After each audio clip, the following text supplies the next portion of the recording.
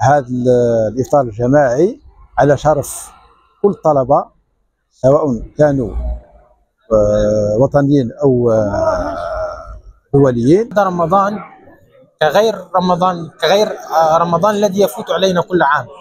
يعني أنا لي في الجزائر خمس سنين. في الجزائر يعني خمس سنين ما عمرناش شعرنا في الغربة في الجزائر خصوصا في رمضان. لأنه رمضان بنعرف إنه كلنا يبغي لمة أو شعور بجو العائلة. فإحنا هذا رمضان يختلف عن كل رمضان خصوصا على الجالية الفلسطينية في ظل هذه الحرب.